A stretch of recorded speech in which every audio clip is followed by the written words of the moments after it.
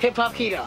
That's cool. Wow. Right, now hip hop kido, like all other martial arts, teaches self-confidence and discipline. Now remember, only use these moves for self-defense when you're in real danger. Okay? Yeah. All right.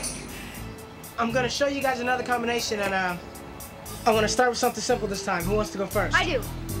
All right, step on up. You guys back up and give us a little room, okay? All right, here we go. Ready?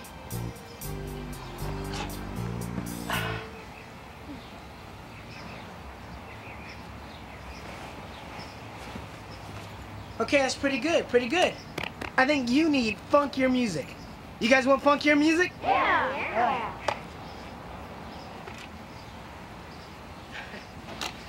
Oh man, um, I left the cassette in my car. I gotta go get it. So you guys stay here and practice. I'll be right back, okay? Okay. All right. Okay. Goes like this.